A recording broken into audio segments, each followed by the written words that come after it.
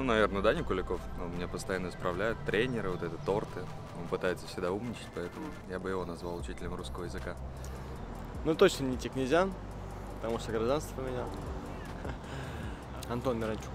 Почему? Ну, воспитанный, молодой человек, так скажем, образованный, можно, так сказать, наругать в нужный момент.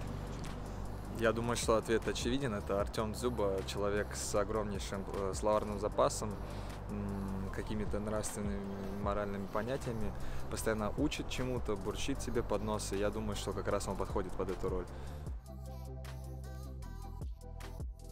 Макей, он, ну, кресты у нас катается, делает в разные страны, поэтому он уже подучил там английский, итальянский, я не знаю, как- куда он там ездит, в Сербию. Поэтому молодец. Английский давайте Ваня Кузьмичев, потому что он играет э, в компьютерные игры и там часто разговаривает на английском. Я думаю, Стас Макеев, у него хороший английский, несмотря на то, что он родом из Осетии. Вот. Тем не менее, он обладает качественным английским языком. Физкультурник. Ну, Мороз, вот такой, ну, вот если его одеть, в принципе, вывести в зал для физкультуры, он, в принципе, похож, я думаю, на физкультурника. Гиля, Гиля, давайте Гиля. Потому что больше всего времени в тренажерном зале проводит. А, наверное, я. Просто потому что очень часто и много провожу времени в зале. А, Меня даже ребята некоторые подкалывают насчет моих там упражнений и всего остального, поэтому я бы мог несколько уроков дать хороших по физкультуре. Трудовик как раз рядом с ним фасон будет. Два. Два. Один физрук, другой трудовик. Трудовик, трудовик, трудовик. Ну давайте Марио Митай. Пусть будет Марио Митай. Вот ты спросишь, почему, я даже не отвечу. Пусть будет Марио. Ну, кто у нас больше всего читает? Наверное, опять назову Стаса Макеева, но он у нас на английском шпарит. Так что Гиля, Гильерми, наверное, потому что много читает русскую литературу, чтобы, ну, не отставать от русских людей. Он же русский теперь. Артем Дзюба, сто процентов, потому что чаще всего я его вижу с книгой. э, Давай, не нахуй. Ну, это человек, которого вот я чаще всего вижу, когда читает он. Если мы ассоциируемся именно с книгами, наверное, Сережа Пеняев. Э, Я думаю, что для своих лет он очень ум- умный парень.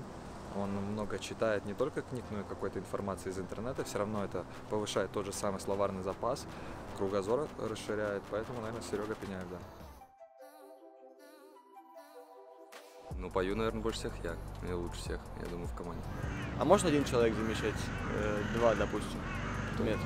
Ну, допустим, Тикнезян и английский, и пение. Может, Потому что этот человек постоянно с колонкой. э, У него даже наушников нет, но с телефоном ходит и так слушает. Костя Мардишвили.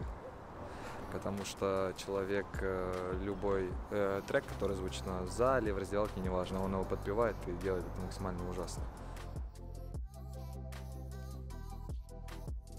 Тикнезян. Он постоянно у нас заведующий в раздевалке по музыке, включает ее, и мы слушаем его песни перед игрой. Тики он и поет, ну что делать? Таких музыкантов явных у нас нет. А можно не из футболистов? Вот у нас есть Валерич, мой очень хороший, знакомый. Он на гитаре хорошо играет. Вот. География. Мы как-то с Кузьмичем вот тут на днях в отеле играли в города, и, точнее, играли в страны и их столицы. Ну, в итоге он ни одной столицы не знает, поэтому пусть будет учителем географии. Как раз, может, подучит. Э, Ну, давайте Мардишвили. Выбирает. Там отпуск постоянно. Вот сейчас недавно в Германию ездил, по-моему, по соцсетям, если смотреть. В отпуск в Турцию, если мне память не изменяет, ездил. Ну вот, первый, что пришел на ум. А, Скажу Дима Баринов, так как человек с огромным опытом игры в Ев- Еврокубках, м, игры за сборную России, я думаю, он много где побывал, и ему есть что рассказать. Ну, пусть будет наш тренер Михаил Михайлович Галактионов. Он как главный будет директором. Директор школы э, Дмитрий Баринов.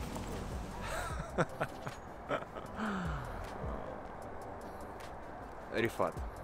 Бескомпромиссный, спокойный, адекватный и такой а, последовательный человек. Вот. Думаю, ему бы эта роль хорошо подошла.